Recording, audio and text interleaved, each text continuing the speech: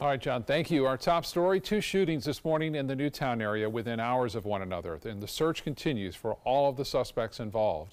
ABC 7's Rick Adams is live from 20th Street in Sarasota, where the second shooting happened today. Rick?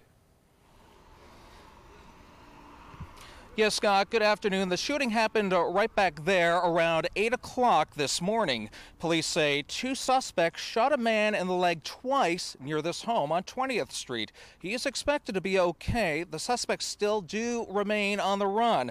It's not known if there's a connection between this shooting and one earlier this morning. As far as the relationship between the two victim or the two suspects rather and the victim, that's unknown at this time.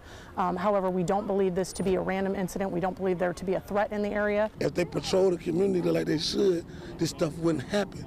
It's happening because the police ain't here to protect and serve. And police are continuing their search for the suspects. As soon as we receive more information on this, we'll let you know. Reporting live from Sarasota this afternoon, I'm Rick Adams. Scott, back to you.